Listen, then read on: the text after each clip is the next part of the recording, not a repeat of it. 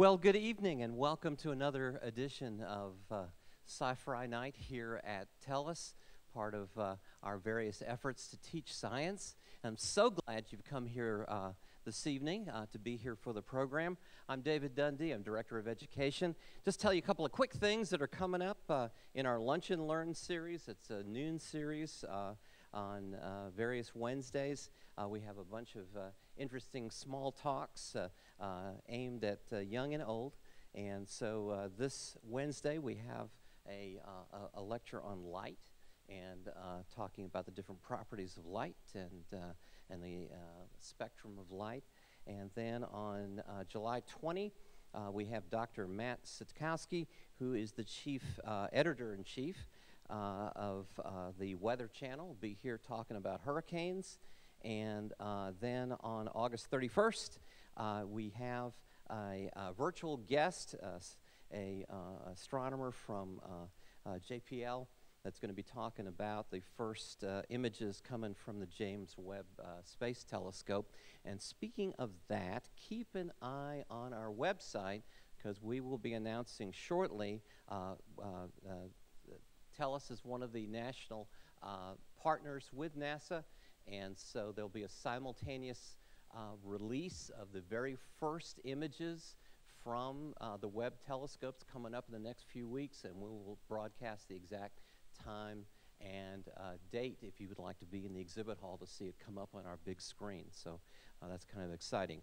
Moving on to July 16, we have a program called Wild About Weather, and we have all sorts of interactive activities. Uh, we have a group of scientists coming up from Georgia Tech with it, uh, from the uh, Georgia Research Institute, uh, talking about uh, uh, weather prediction. And Glenn Burns will be here also.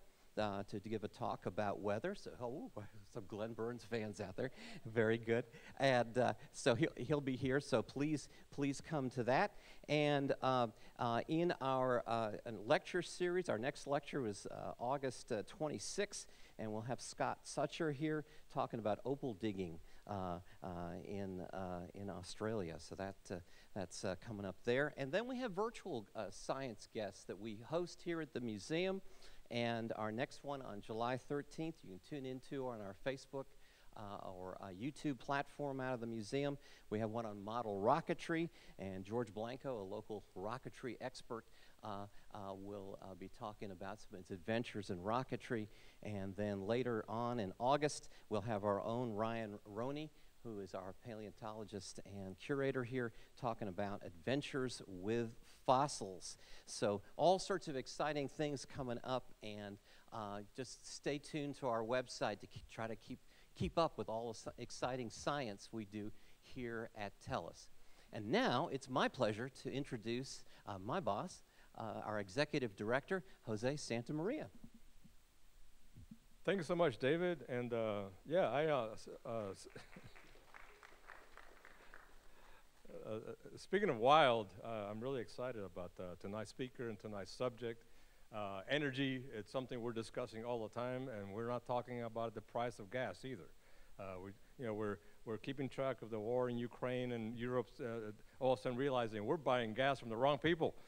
Um, and, and, so what are the solutions? What are the solutions to, to really uh, dependable, safe energy, uh, uh, to uh, reducing carbon emissions, and to me is nuclear power, uh, safe nuclear power. Nothing is more intriguing to me than this capability, not just to have a massive plant in South Georgia, but portable nuclear plants. And that's what the subject of tonight's speaker is going to be about. So, Claudio Filippone.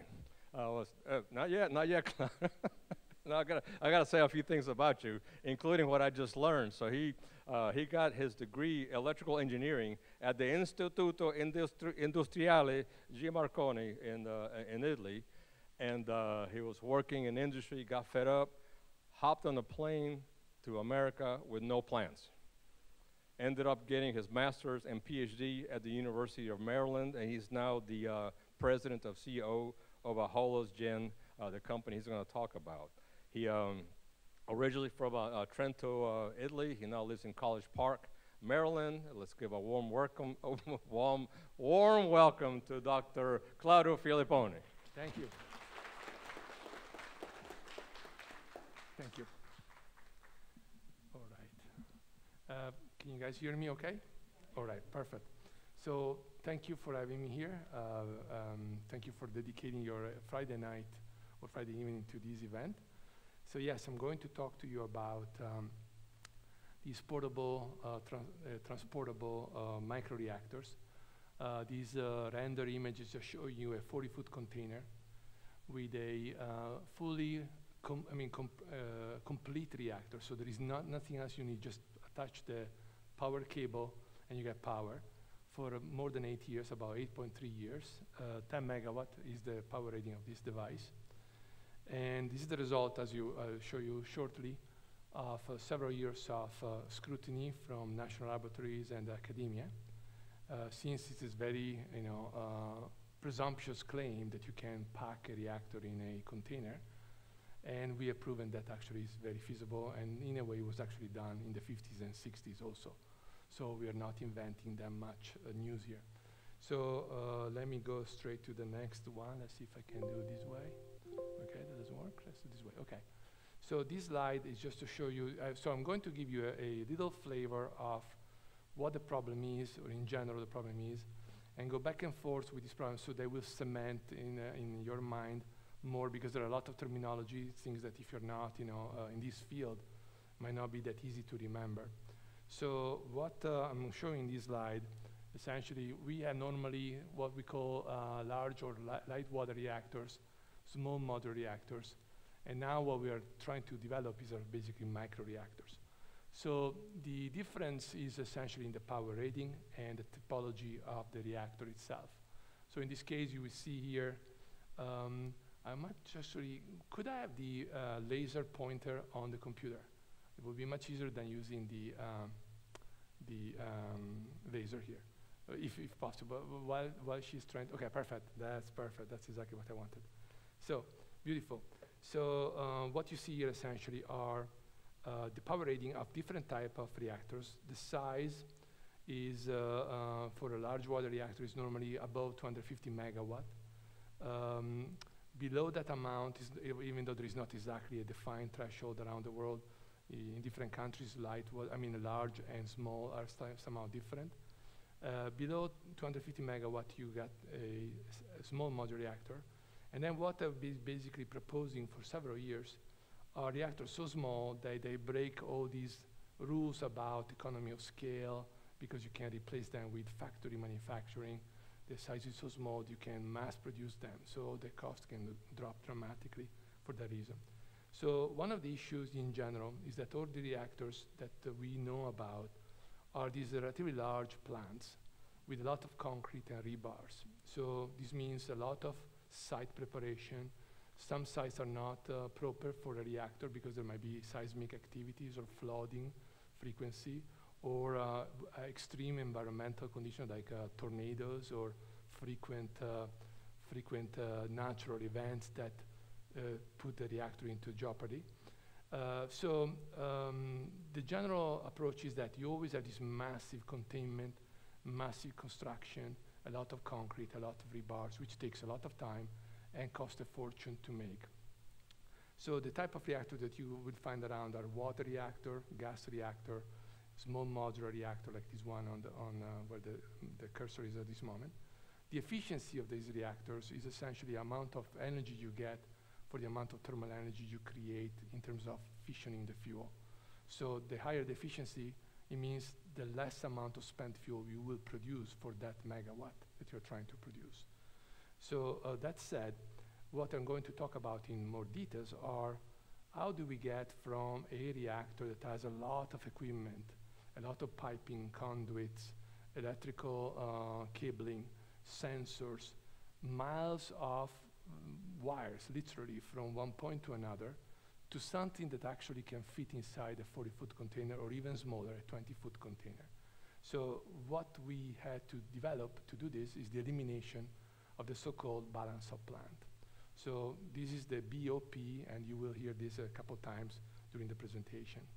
So so that said, I'm going to, to go a little bit detail in, into detail about the balance of plant. So the balance of plant is essentially the network of pipes, tubing, and conduit, as I was saying before, that connects, for example, In this design, you have a reactor here. The reactor produces steam. The steam is piped through this piping jungle that you see here. Then it goes, finds its way to the turbine, spins the turbine, expands, and eventually goes to the condenser. The condenser becomes liquid again. There is a pump, brings it back, puts it back cold. This, this green, I mean, this uh, blue, li uh, blue line here, puts it back into the reactor and redoes the cycle. So this is a typical Rankine power cycle. So as you can see, um, this is actual Rio reactor. This is a Carem Argentinian uh, small modular reactor. These, all these elbows you see here is because there are barriers. There are penetration through thick walls of concrete. So, um, so you have to avoid that, but also you have problem with, uh, if you have an earthquake, these pipes starts to oscillate. So they could break because of that. So you have to have hangers, dampers. All of these cost a lot of studies, a lot of engineering, and a lot of maintenance. So cost, you can see the dollar sign continuously piling up because of all of these things that have nothing to do with the actual real production of electricity. Is all this supporting structure, you need to have that. So every time you have an elbow, you have also a reduction, you have friction, you have uh, um, fluid velocity, corrosion caused to the tube, so you have to have a, a material degradation program that monitors that elbow frequently so that you can, you can predict when it's going to fail. So before it fails, you shut down, cut that pipe, put a new elbow, and re-weld it and start over. So as you can see, all of these architecture cost tremendous amount of work and tremendous amount of uh, labor hours, which means in the end, operational cost.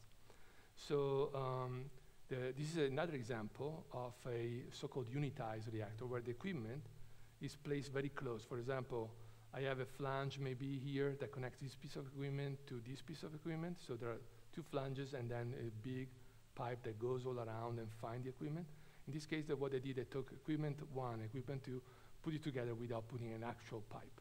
So I put this flange with this flange together. So it's a, a, a strong optimization. And uh, this is too compact more, the reactor, to be useful, for example, for icebreakers, where you don't have that much room. So that's again another, so you're going toward the right direction. So what I did, I took this principle and went to the extreme and eliminate even fur further that amount of equipment. So what I'm going to talk about, these are a courtesy of Microsoft PowerPoint when you go from Mac to, to, power, to, to, to PC. I see things that, you know, text that moves around, so it's, uh, it's the way it is. We have to, I, I see here legacy reactors, so, and you know, something happens, uh, so apologies for that. It's just when we went from Mac to PC.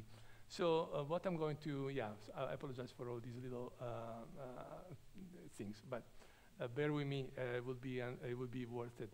So what we're going to talk about is what is, so the inefficiency of reasonable, I mean, current designs, then how do, how do we really increase performance? Because we want to not only improve the the cost of operation of the reactor, but we also want to lower the capital expense of the reactor. And also we want to reduce the amount of spent fuel we produce. So the only way to do that is to make more energy out of that thermal energy that the core can make. So that's the other step. Then are, are we saying something that um, you know is just a wishful list or is real? So you have to have third parties, expert, subject matter expert that can look at this objectively and actually throw arrows at that and try to shut it down to say, no, this is a baloney, this is not really working as you're saying. So we had a lot of uh, thermodynamic, thermohydraulic, neutronics, structural, electronic controllers, uh, digital instrumentation, police that checked the design. And uh, that was something I wanted uh, for credibility. So you first prove it works, then you go out and look for money, essentially. That's the idea. So um, then uh, the design architecture to be such that it's flexible so you can adapt it to almost any application that is out there, whether it is uh, charging a, a, car, an electric vehicle, or uh, be a support to renewable like solar or wind, uh, desalination, process it for hydrogen production. So you name it, there are many uh, applications. So the reactor has to be designed inherently uh, ready to attach it to any application. So you don't have to redesign the reactor modify it again for that specific application. So very challenging from an engineering standpoint. The objective ultimately is to eliminate or mitigate fossil fuel independence with all the ramification that you have for that. And of course, uh, reduction of pollution, uh, reduction of thermal pollution, reduction of pollutant uh, in the air, and eventually also uh, address the issue with global warming. So all of this is basically what all of this is trying to be to, to, to accomplish. So this is to cement a, a little bit of summary of what I said so far. So this is a uh, you know very high elevation schematic of a typical power plant. So you have a gigantic dome here, which is a one of the most expensive part of building a reactor. Uh, this is you know several feet uh, width with tremendous amount of rebar. So there is a lot of steel in this construction, and takes forever to make this construction. So years to fabricate this.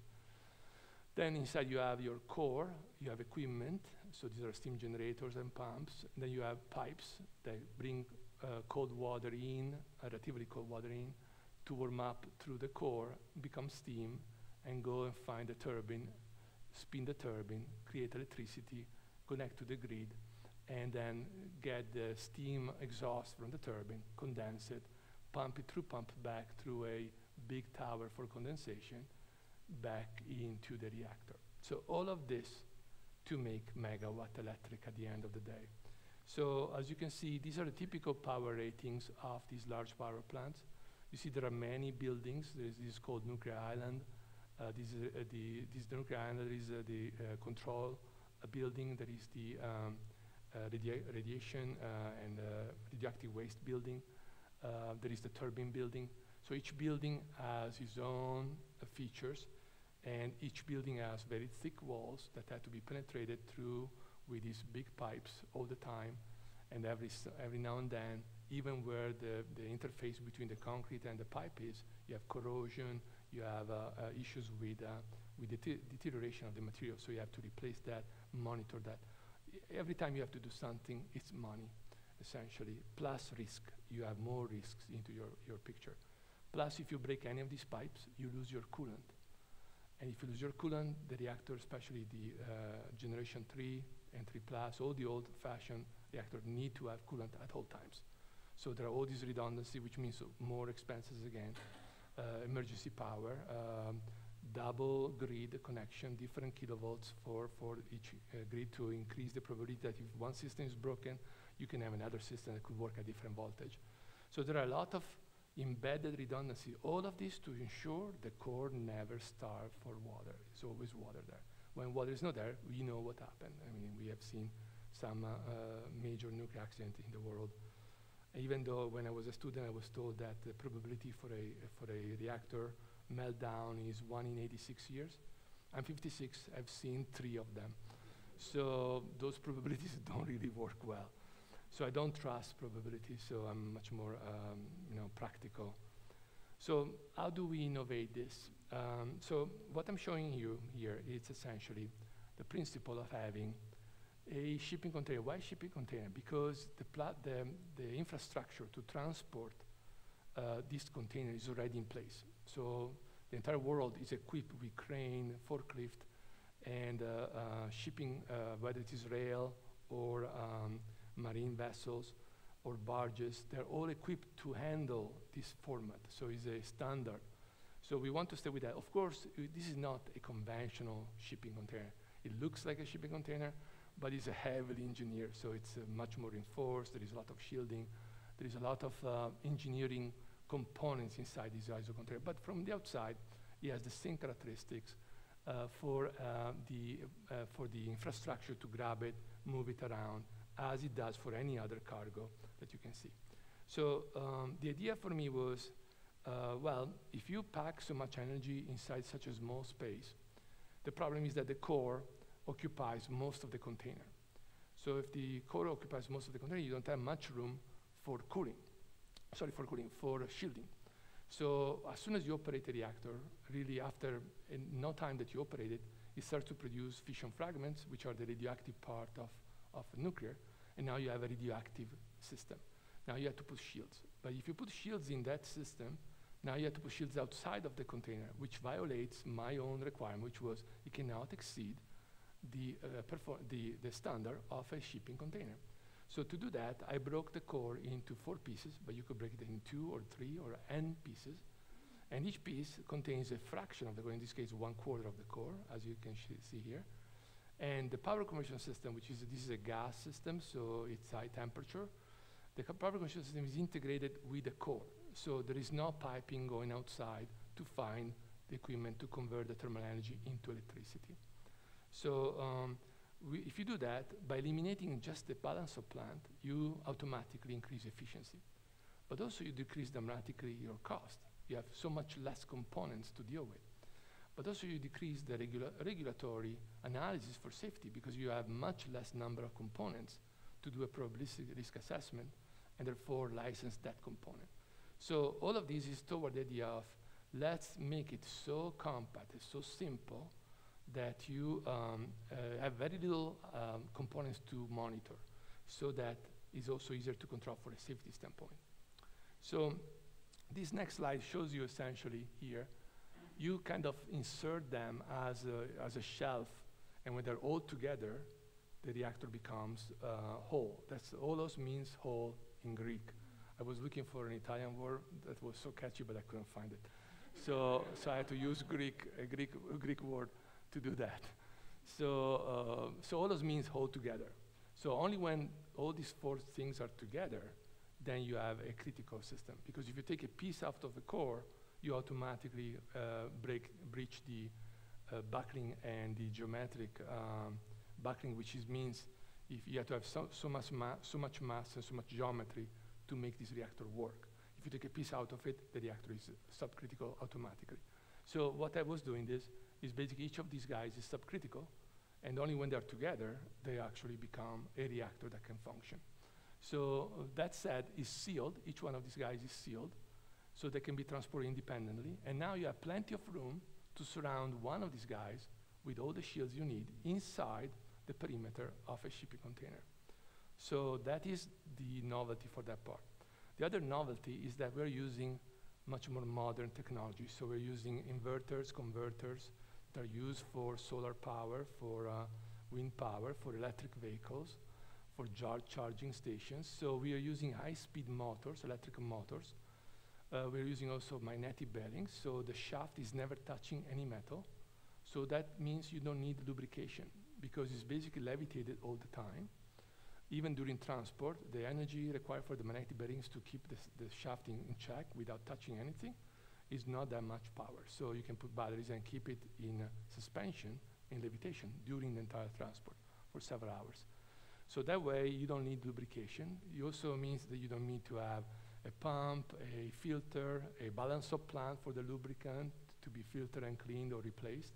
So again, simplification, simplification, simplifications. So the other novelty is that uh, the shaft in a typical um, in a typical um, turbo compressor type of system or type of power conversion system, you have that the turbine, which is what generates power, is coupled mechanically to the compressor. And uh, this is what happens in an airplane. If you, uh, if you look at your turbojet, when you're looking out of the window, you see the turbofan, and there is a gearbox, but in the same shaft, there is also the turbine that is actually powering the turbofan. So mechanically, they are always married together. Instead, what I did, no, because if you separate them, the efficiency of these two turbo machinery components can skyrocket because you don't have the dependency of speed of one versus the other. And the compressor wants to speed at, speed, a different speed than the, tur the, turbine that you see here. So that said, um, let me just keep an eye on the time, just I don't want to, because I could talk for forever. So, okay, that's good. So that said, um, there is a big chunk of novelty in the fact that the turbo the, the, compressor, these are the turbo machinery of the compressor, are decoupled from the turbo machinery of the expander. So in other words, the generator generates power. Part of the power goes to, sorry, goes to power the actual motor that is pushing the compressor. All of this is done electronically with modern inverters. So a line of code, and you can decide the speed of the motor. And the motors now can go to 22,000 RPM, 26,000 RPM, even higher. And so you have very high efficiency at those conditions. And very little wear and tear because it's, it's not touching anything. So that's uh, part of the novelty here. So what was done in the past and uh, what happened in the past versus today? So this is a picture from 1956. And uh, also on the Holosgen website, you can find a lot of history. I put, uh, put a lot of pictures of the past. There are a lot of declassified documents that you can access now and learn uh, how beautiful technology was developed in the 50s and 60s. So this was a turbojet for the nuclear bomber, and it literally took a turbojet, cut off the, the combustor, put a core in the middle, uh, right here, put a core there, and then put a big shaft that goes from here to here to, so that the turbine is powering the compressor. Now, it's not a good idea to have a shaft in the center of a nuclear core because it's, you know, it's, some, you know, it's the harshest environment possible. It could become brittle, so you have problems there. Plus, they were using ball bearings. Uh, but it is a design that actually was developed, was uh, got to TRL 7, TRL 8, and worked for several hours. And there were actually two companies doing this. One was GE, and one is what is today Lockheed Martin. So, and they had two different designs. So these things worked many, many years ago. So what I did, I said, okay, I took all the problems they had and resolved them with modern engineering by, first of all, I don't want to use air. Air contains also contaminants, uh, water vapor, and whatever else in the air, which at high temperature reacts with these alloys. And then you have to have a maintenance program, a, a survey program, so cost. No, we don't want that. So everything is intubated. We are using helium, helium gas, which has a, uh, excellent um, transfer properties. Everything is welded because helium is extremely difficult to keep in, a, in, a, in any place. So seals don't really work, for, uh, especially for something that goes up and down in power. So everything is welded shut. So there is no access to this unless you have to cut it and open it. That's also why we don't want to have lubrication and circuits like that because we don't want to maintain anything. This is a drone. Once it's done, it lasts. All of the time it has to last for the core to be spent, but you don't need to maintain it. That's, uh, that's one of the key uh, features for that. So uh, everything is intubated. Um, helium doesn't become radioactive. So originally this design was designed for uh, application for military applications. So the idea was that if uh, somebody shoots at the reactor, you would have a puff of helium, but it's not radioactive. So the soldiers there would not be affected by that. So that was the idea. Um, let me speed up a little bit. Um, so here's to cement the, uh, let's see if I can make this work. Okay, perfect. So this is a turbojet typical uh, that you fly with any airplane today. So we have air on one side, you have fuel, they mix together, you ignite them. The pressure uh, and temperature goes up, the uh, mixture of exhaust gases, high temperature expands in the turbine, and you get, in this case, thrust. If you want to have a, a generator, you put electricity out of that. So all those essentially is all of this intubated. The combustor is no longer there. There is a nuclear core instead. And uh, the, as I said before, we don't have a shaft going between. We have a generator that is spinning at its own speed, and a compressor motor that is spinning at the best speed for that compressor. So um, is it true? Uh, all of this, you know, is it true? Yeah, it's true. We actually made a, a simulator that has uh, this, this essentially the characteristic of this reactor in a uh, warehouse in Manassas, Virginia, and tortured the hell out of this thing. Um, uh, literally, we did, uh, you know, we did every kind of uh, uh, test. We took away the coolant, we killed the electricity, we overheated the, the heaters. There is no nuclear fuel here. We are using electrical heater. Yeah, that's a minor detail. Minor detail because my, my employees are working literally here, so it's not healthy to have a nuclear system right there, especially if you, if you make a mistake. So this picture is a uh, infrared picture showing something we discover uh, when you go very small with uh, this type of system.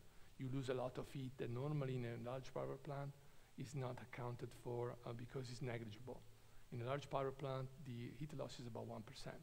But in a very small reactor or anything small, in fact, when you look at organic Rankine cycle, you actually cannot see them. They are all covered with blankets of insulation because as soon as you lose heat, you lose efficiency. So that's a very important aspect to, to remember there. So now I'm going to go straight into the ARPA-E. ARPA-E is the Advanced Research Project Agency. Uh, e stands for energy. So uh, HolosGen was awarded in 2018 uh, a relatively small grant to demonstrate all of this with the help of the national laboratories. So we provide all the information to the national laboratories. And as uh, uh, we'll show you in a second, my generation zero, so we, we have now generation two plus over here. So generation zero was the first reactor design that I, I provided, which had mobile SPM. So those, those modules you were seeing before, all welded shut, they were actually moving inside the container. By moving, you leak neutrons. And so I was controlling the system by controlling neutron leakage. So this was done in, the 40, in 1944 and 45 for the first time during the development of the, of the bomb. So they were moving reflectors and changing the activity for the demon core by moving graphite or beryllium reflectors. So I said, why don't we do this thing for beneficial uses, not just for bombs? So the idea is to, if you move them, you don't need control rods and you don't need control drums, which simplifies the design dramatically and also reduces the cost dramatically. So this is a picture from National Lab, from Argonne National Lab, doing the neutronics, showing that actually it could work. In fact, one foot distance between these SPM kills the reactor. So you, you lose so many neutrons that it kills the reactor automatically. So the idea was to have the two SPM at the bottom hydraulically lifted up, and if you lose power, those hydraulics uh, will go down, and automatically the reactor is killed by itself, so by gravity, without control rods, all those type of things, which, as I said before, cost a fortune. This uh, uh, plot here in the, in the middle is just, oh, each dot here represent a feasible core that can be used uh, through a, this algorithm, genetic algorithm that was developed by Argonne National Lab. And um, what they did, um, this was a challenging design also for them because it's unusual. You normally don't have a core that moves. The core is fixed. And what we gave them is a very challenging uh, problem to solve. By doing that, they develop all these engineering tools that allow you now to essentially decide which parameter you want to prioritize. In this case was mass, core weight, or core lifetime. And then you can pick and choose the one that fits your application. So um, this on the, on the right is the actual final version that we have right now uh, with the project with ARPA-E, which was completed in March this year. So here's what uh, uh, just gives you an idea of having the control of reactivity by moving from outside, which would be much simpler uh, with uh, actuators, and by moving them closer or farther away, you have more power or less power. So it's very elegant again. There is no moving part inside the system where you don't want stuff inside the core because that's the harshest environment of the system. S so that said, let me go back to this one. So this summarizes what I just said. So this was uh, mobile, then we fixed them. So why did we fix, fix them? It works perfectly by moving them, but I got a lot of criticism. It's too innovative, essentially. And so you, know, you need to take this a little bit one step at a time and uh, the regulators would never be happy with something moving.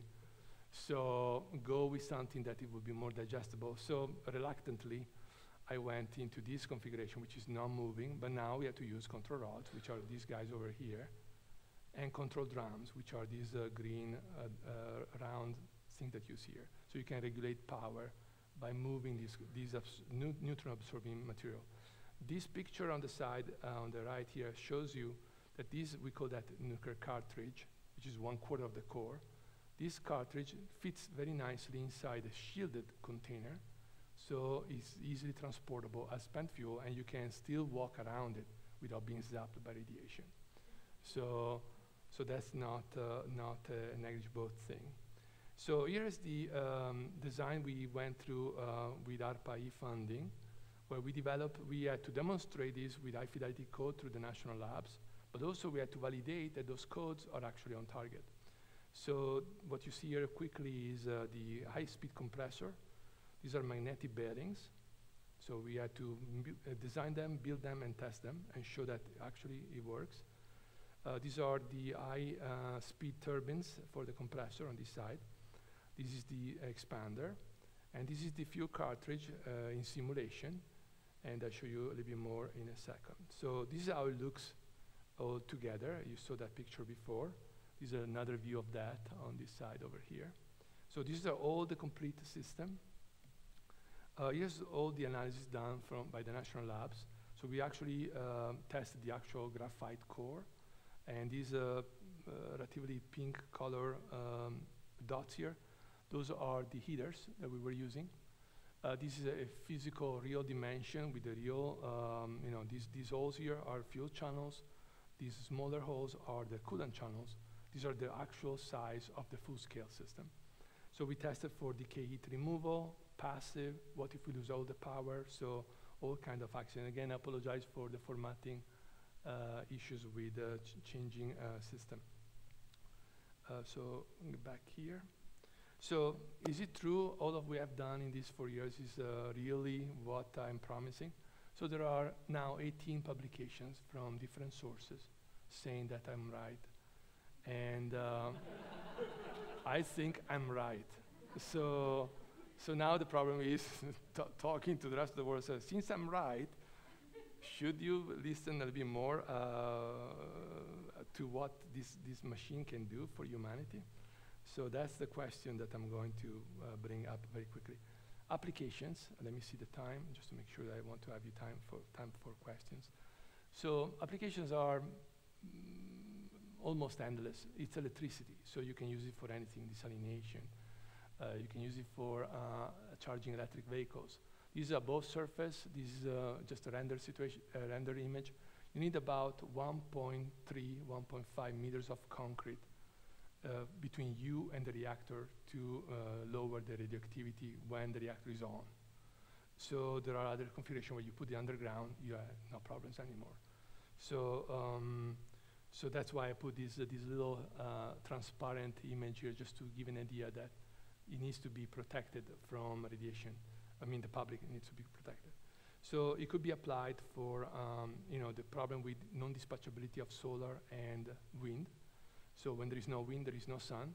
You could have one of these reactors that kicks in, is a load following, so it's a drone that fills the, the bus, bus uh, the, the power buses and says, oh, there is a load, okay, I'm ramping up. Oh, there is no load, okay, I'm idling. There is no load for, for a long time, okay, I'm t- I shut it down, I'm not needed. So this also means it would last for a longer time than, not, than eight years. Emergency power, that's one of the, you know, definitely uh, easy application because you can drop it anywhere. It doesn't, it could be on top of a mountain, it could be anywhere in the world, in the, in the desert. You don't need water, it's, it could be cooled by air. And uh, you have electricity. If you have electricity, you can immediately provide emergency support. Um, also, you know, the cost of this, just a parenthesis, when I was doing some analysis for Puerto Rico, uh, after what happened there, there was a street in San Juan with, uh, I think there were 20 hotels the revenue loss for one month of uh, not operational because there was no grid of those hotels would have paid for one of these guys. So just to give you, you know, a proportion of, um, it, it, could be a good thing also for the, for the economy of uh, uh places where there were disaster areas. Uh, uh, here is for remote applications, so Alaska, Northern Canada, Northern Territories. Um, could be marine propulsion. This is one of the uh, aspects I've been working quite a bit, and we uh, was talking a little bit before with uh, Jeff Combs uh, before the, the meeting here, before the event, and I was telling him that the calculations for fuel, fuel, avo fuel avoidance, is that you would pay the reactor in two and a half years of operation of the ship. This is a design. It was uh, studied for a medium-sized uh, container ship. So the fuel consumption of those ships, and of course all that fuel goes into smoke, so it's pollution, uh, was such that in two and a half years you would have paid for the capital expense, and over 20 years of operation you would have saved 1.8 billion dollars of fuel for one ship, just one ship. So, so it's, uh, it's mind-boggling when you look at these proportions. It could be used for, uh, for mines in remote areas where you don't have a power grid, and normally everything is trucked with diesel uh, very expensive diesel because of logistic issues. It could be used for space, it could be used underwater. So essentially, there is no limit to the application for, for the technology. So this is just an example of how it would be, you, you locate this thing essentially somewhere um, surrounded by water, so water is going, going to be the shield for the system. And then you have these, um, these are actually commercial electric 360 degrees pod. This is basically an electrical motor attached to a propeller very efficient propeller, and you can retrofit even an old ship with this technology, and th then you distribute the power through a cable. So, so that is another very feasible technology. I'm having always the reverse. Okay, so uh, this is just to summarize a little bit what it can do. There was also a baby Holos design that was for space. Uh, this was just for uh, from 10 kilowatt, actually um, 10 kilowatt to 1 megawatt, um, but it can operate all time at 100 kilowatt. Uh, this was another smaller 20 foot container, 3 megawatt more or less, that we can contain. And you see, you have all these applications that can help anything where you don't have a grid uh, or the grid is too expensive to maintain. So it's a very distri distributable design. So this is to give you a, a summary of the uh, long-term impact. So we talked about these uh, subcritical or sealed uh, uh, power modules where everything is contained inside. There is no equipment outside. So the only thing you have is a, is a box for the connection of three-phase cables at one of the end of the system. Everything is integrated, no balance of plant, nothing comes out of the container. Then you can transport them individually or all together when it's fresh. When it's uh, radioactive after operation, you can separate them and transport them all to, uh, um, individually through a shielded container. Le right now I'm, I'm using, showing you just the cartridge, but it could be longer. It was just a waste of, of mass and waste of material but you could also put the entire thing, this entire thing inside a shielded container. It would be just a 40-foot container, not a 20-foot container. So that's, that's all feasible. Um, summarizing this, um, okay, what was here was Meitner. Meitner is the funding program under ARPA-E. Um, so before ARPA-E, I made this prototype, again, to be believed. Uh, and I used uh, parts from a Subaru from a Subaru uh, turbocharger uh, modified. This is a high performance race car intercooler. Um, inside here there is graphite and these are the heaters simulating the, the, the heat from the reactor. And I was showing that as you increase the heat or decrease the heat, you have more electricity or less electricity, which is a load following, one of the load following aspect of the design.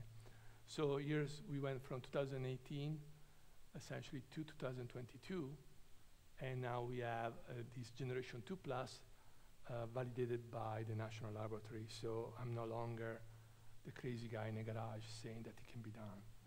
Uh, or maybe I'm still the crazy guy, but, but uh, it's a little bit better. So this, uh, this slide is just to show, is a token of, uh, of gratitude to Jeff Combs and UXC.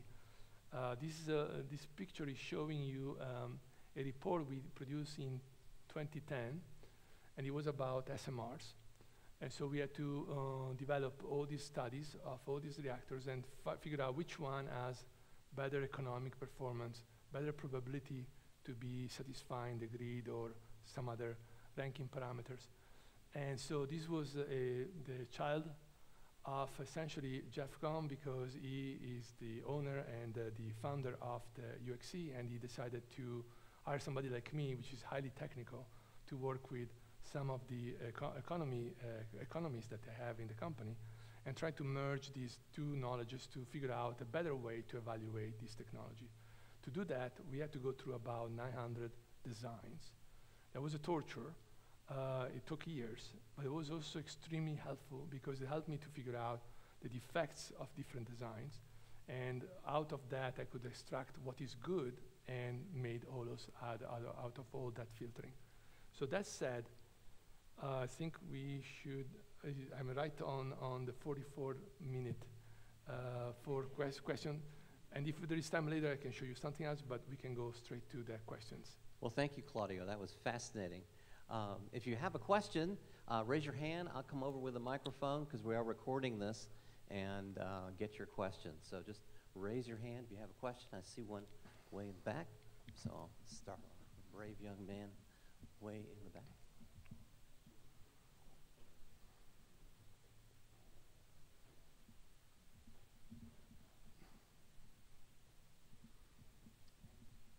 So I was wondering, like, how how resistant are these to like if somebody came and decided they wanted to blow up a portable nuclear reactor? How how feasible is it to like easily defend these? You you, you mean uh, if I understood well how uh, feasible the, the technology is? Is that your question? Ju- no, just like defending them from attacks. Oh, defending them from attacks. Very good. Yeah. Very, very good question. So, many, many years ago, I went to some friends of mine at the NRC and I said, you know, the world is becoming crazy. Sooner or later, somebody's going to shoot at the reactors. So, oh, no, no, that's not NRC, that's uh, defense. It's not our problem. It's Department of Defense. So, well, regardless of whoever, the problem is somebody's going to shoot at the reactors. And they were like, no, no, no, this, the probability is extremely low. Now we saw that on TV, uh, the, the Russians shooting at a reactor. So um, Holos as uh, was designed for military application originally, and not because I'm so keen toward the direction, but because military normally are known to have more funding and many technology from military then eventually migrate to civilian application. So it has a lot of features to uh, cope with uh, um, shape charges, to ballistic attacks, to saboteurs, uh, to give an idea, one of the questions was, uh, suppose we have 40 uh, uh, guys armed to the teeth, and 10 are killed, but 30 makes it, make it to the reactor. What does the reactor do? And so the reactor has a lot of features to defend itself. Uh, but for civilian, I tuned down all of those features, but they are basically ready to be implemented if needed. So it's a very good question, and I'm with you 100% it should be designed as if it is always dropped in a hostile environment. Okay, uh, and a lady with a question right here. What happens at the end of the useful life of it, and what do you do with the materials at the end of the useful life? Ve- very, very good question. So, like every nuclear reactor utilizing fission, um, it would produce fission fragments. The fission fragments are the radioactive nasty part of the nuclear uh, equation. So uh, as, I, as I was uh, uh, explaining before, one thing is if you increase the efficiency, your total volume of spent fuel reduces because that fuel made more megawatt for, the, for that amount of fuel. So that's number one. But at the end of the day, you still have an amount of spent fuel to deal with. So I went into the um, research to what is done by the Department of Energy for uh, spent fuel transport and spent fuel storage.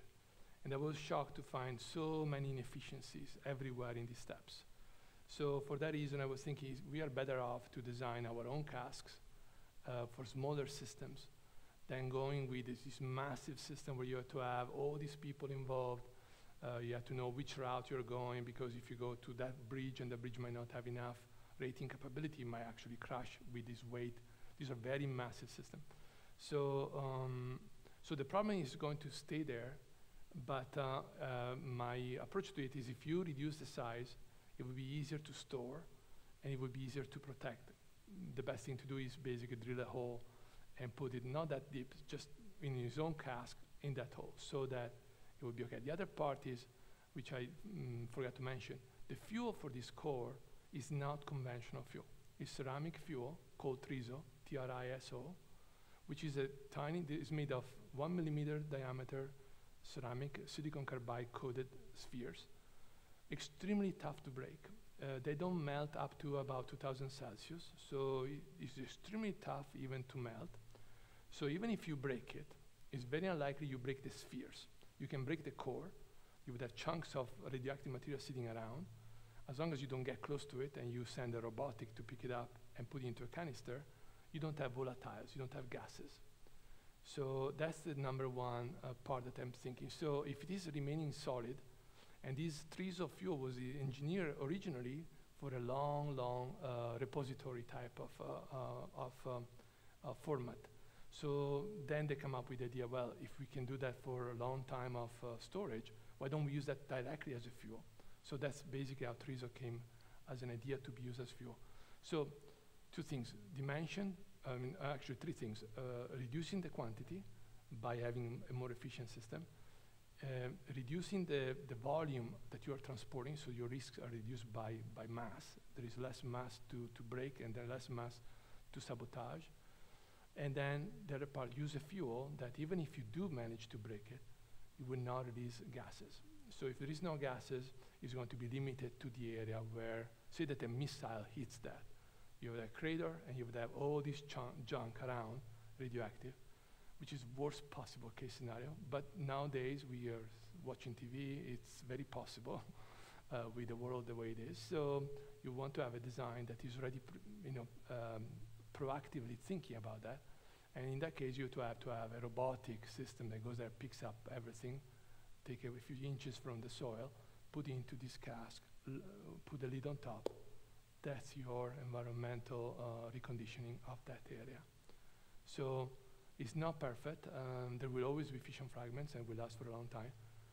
But again, it has to be looked at in a, re- re- relative way. You know, you have to look at how much pollution we generate by not doing that, and what is the harm from this pollution versus uh, these tons of waste that is very confined and could be trapped into a, a steel and concrete uh, cask. Yes, uh, my experience with uh, compact equipment of any type is that you always pay a price on accessibility for maintenance. Yeah. So my question is, uh, how can this equipment be properly maintained throughout its life? Uh, excellent question again. So uh, yes, so the approach I have was, I don't want to maintain it. I want to make it tough enough that can go on for 10, 15 years without touching it. Now, from turbo machine standpoint, if you talk to turbo machines, that's impossible. You have to maintain, change the seals, change, you know, the bearings. You have to maintain the system. But the way is that this approach, this is not for flying. So if a turbine blade thickness that is exposed to radiation could, could uh, crack, all you need to do is make it thicker. It will be heavier, but uh, you're not flying with this, so it's not a problem. So the other part is magnetic bearings, no contact ever. So with a lot of redundancy on the magnetic bearings themselves, so there are multiple magnetic bearings. So you, can have failure of multiple magnetic bearings, and eventually if all of them fail, there is something called catcher bearing, which is a bearing that is only a few micron distant from the shaft. And if the magnetic system fails, the shaft hits this magnetic, this uh, catcher, which is designed to survive 10 for, you know, 10, a number of, of, of crashes. And then eventually you have to cut the system open and change that bearing. So the idea is to eliminate maintenance as much as possible. Everything else is, is electronics, um, and what can go wrong is uh, overheating of electronic modules, but those are kept in a way that you actually can access them, unplug them, put another module, replug it, and continue. But the actual reactor system sealed with helium, that's it's like your refrigerator at home. You never maintain it. You, you don't charge re- refrigerant in your refrigerator. It could last 10 years, 12 years, 15 years, sometime even more. So it's the same concept. You design in a way that is tough enough that you don't need to maintain it. So that's, that's the approach. Oh, okay. Other questions out there? Yes? You said you use helium. What other source of uh, coolant would you use if you didn't have helium? What are the uh, sources of like supply of helium? Yeah, so helium has become uh, uh, more and more uh, in demand and more expensive. But uh, it's, it's, a, it's a market issue. Um, it's not a technological issue, so it's, um, it's, a, it's a demand type of problem. Um, we don't have, we are not married to, to helium. Helium was designed originally for military bases. If it is civilian and is inside a you know, construction or underground, we could use different gases. Uh, if you use different gases, it will become bigger. So if you, if you don't want to exceed the container, then in order to use another gas, you have to reduce the power rating. So 10 megawatt helium fits inside 40 foot, a 40 foot container. But if you want to have nitrogen, for example, you might only be able to fit maybe 4 megawatt inside that system if you don't want to exceed the boundary of the container. So, Okay. so there are multiple gases or uh, different way to, to make it work. If helium will become unaffordable in the future.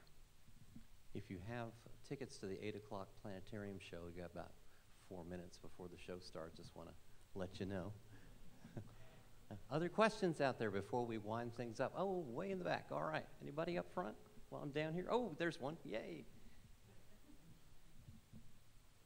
So just in terms of uh, your dream outlook, say, how far are we out from looking at this picture and uh, giving like a, a billion people in Af- Africa access to electricity uh, with, with, you know, renewables included? So uh, you, you're asking how much time it would take to, to have one? To, yeah, to get, to get from this and to get this all over the world where it's needed and, and, and that type of thing. Ve- Very, very good question. I, I, I'm happy you asked that question. Yeah, so three years. We Three have a plan designed for three years implementation with all the nuclear test included. So, so we can, uh, we can have that uh, uh, first of a kind, which would be the most expensive. Uh, and then we have the N of a kind, which would be a number of them. In a way, the reactor design is such that if you look at the, see, in a way we have four reactors already, so we have four of everything already. So four component, time, four times components already reduce the cost of manufacturing. It's not one.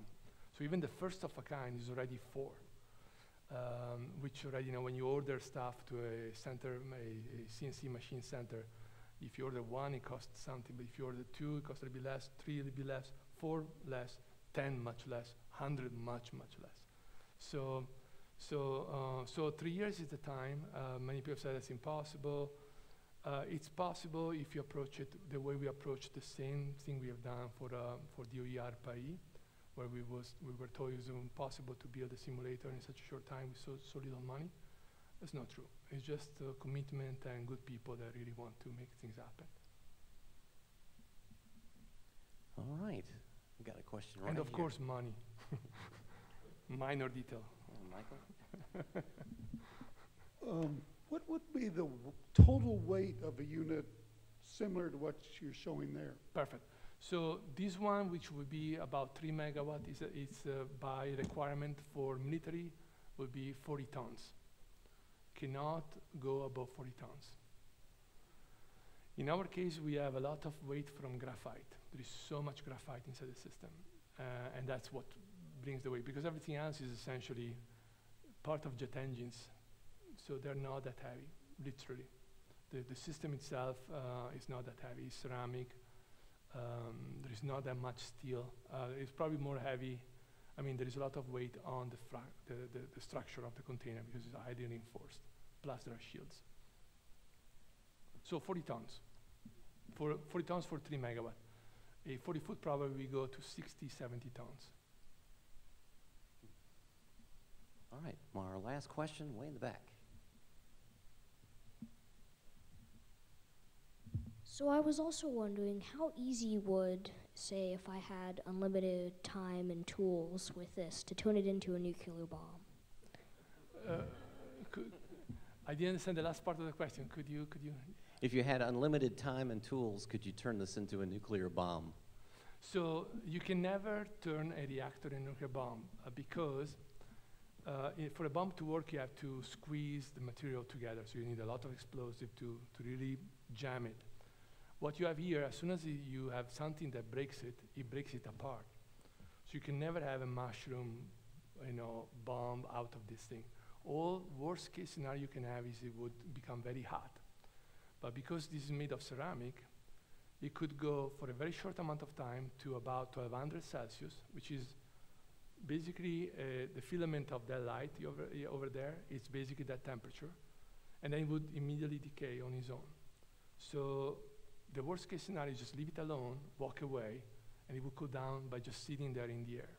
So it can never become a bomb. Even, you know, the, the Fukushima was not a bomb. I mean, it was the hydrogen that blew up, it wasn't the actual reactor uh, in uh, Chernobyl was the reactor core, but it wasn't a real nuclear bomb. It was high pressure, high temperature, and it broke apart everything as anything pressurized in a pressure vessel. So you can never have a bomb from a nuclear reactor. It's not designed. it's just impossible to do it. You have to basically surround it by explosive and compress it in an impossible way. So there is no way you can do it. So uh, and I'll be happy to explain that in more details if you want later. But any reactor will never explode like a bomb under whatever accident scenario or even sabotage. It just cannot become a bomb. So, Claudio, would you like to share with the audience your most exciting engineering adventure you've had in the development of this technology?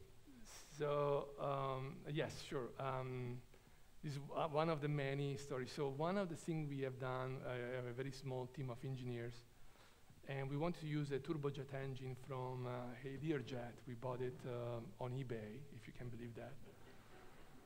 And because we needed to have six megawatt on command, and six megawatt is a lot of power. So we called the utility, said we need six megawatt to do testing. I said, yeah, sure, we can do that. Uh, it's one million dollar per mile. It will take you, uh, take us about four years to get you a new grid just for you, so you can have six megawatt. And you can never test without uh, reserving power, so you can only test at night because you destabilize the grid when you have six megawatt. So we had to come up with uh, some clever idea to get six megawatts somehow. So I come up with the idea to use a helicopter or a aviation jet engine, intubate it, and use the exhaust gases as the heat source, so we can get six megawatt. So the first thing we, and actually there is a little, just this is actually the, the type of engine that we've been messing with. So this gives you just an idea of that. So this is uh, uh, the exhaust part, so this is the nozzle at the end. These are the combustor chamber here. These are the injectors here. This is all compressor. And this is the fan at the inlet. So if you look at the Learjet at the airport, what you see is the front part. So this part over here. So, um, so it's a tiny, you know, it's not a big guy. It's, uh, you know, this diameter is not that big, but it, it's extremely powerful. Uh, I mean, you can fly a helicopter with that, or a Learjet, uh, if anything. So, um, so we had to test this thing because we had to create this rig that gives you six megawatt. So we bought it, we received it, and we are four or five of us, and we put this thing on, on a pickup truck, strapped it, and waited that everybody left the warehouse complex where we are, uh, turned the back of the pickup truck toward the woods, so hopefully, hopefully nobody walks in that direction. And then we put fire extinguishers everywhere. Somebody, you know, uh, dropped there a 55-gallon jet fuel to the system. So we are scared to death because we never, you know, we, are, we have theoretical knowledge, but we never really messed with a real turbojet. And we asked, you know, aviation expert. They said, "Don't do it, don't do it, just don't do it." and of course, why not? We have we have to do it. So, but we put all the safety we could. So we put a bunch of fire extinguishers, and we were telling one another, if this happens, you take that fire extinguisher. So don't panic. You just focus on that one. I focus on this one. So we have all this safety briefing for the entire day. Around midnight or past midnight, we start finally the test. And uh, as, as, soon as we start running the engine, we smell fuel like crazy. So something's wrong. And it's pitch dark, so we put a light and we see the spray of fuel coming out from one of, actually really one of these injectors over here. And so stop, stop, stop, stop everything, you know, before it catches on fire. So we have a, the wrench, we tighten it up. So I'm basically soaked in fuel. And, um, and uh, one of my employees says, Claudio, look, look back. And there is this Jeep with a fire marshal. and I'm really trying to dry my hands from this stinky, stinky fuel. And I'm um, thinking, what am I going to tell him? You know, yes, we are here trying to test a jet engine because we want to mimic a nuclear reactor. I mean, it's just, what am I going to tell this person? So I am walking toward this jeep that is moving very slowly, and the guy is looking at us, looking at the fire extinguisher, looking at the 55 gallon tank, but he's not stopping. And I'm walking toward the car. The van she looks at me and looks at everybody and sped up. So I remained there like what, what's going on here? And uh, so uh, I looked to my, to my crew and I said, you know, apparently in uh, Manassas, uh, having a pickup truck with a jet engine strapped to it doesn't qualify as a fire hazard. so, so we're okay. but this is one of many, but I don't want to keep you here all evening. So I'll be happy when the opportunity arises to give you many other stories very similar to this one. Well, Claudio, thank you so much for your time this evening. It's been a pleasure. My pleasure. And- Thank you. Thank you all for being here, too.